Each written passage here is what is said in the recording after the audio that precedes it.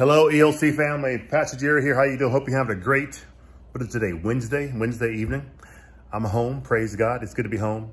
Um, we have a breaking news ELC newscast tonight. Um, some of you all have already gotten the information, but um, October the 15th was going to be a very, very special day for ELC.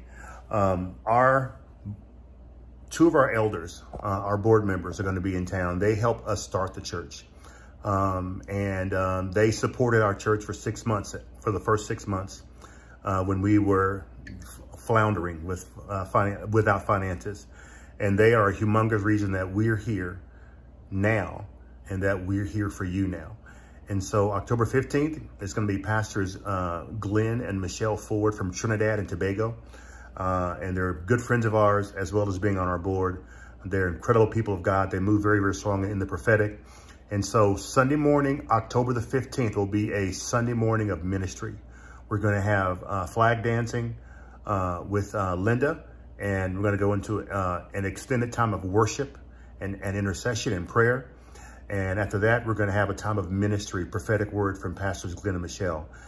Go ahead, save the date, invite people you want to have come, but it's going to be a powerful service. Prepare an offering because we're going to receive an offering for them.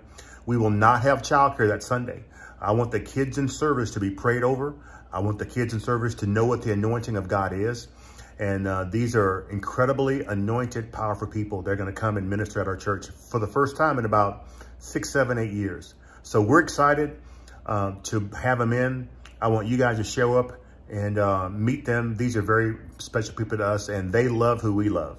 And so they love you guys already because you're part of our church family. So uh, go ahead and um, plan on being there October the 15th, 1030 service. Uh, plan on staying for a while if, if, uh, if that's God's will. But we're going to have a, a time of ministry, a time of miracles, and a time that God can move into our lives. So plan on that. We'll see you guys um, October 15th Empowered Life Church. Love you guys so much. And uh, we'll see y'all soon. Bye-bye.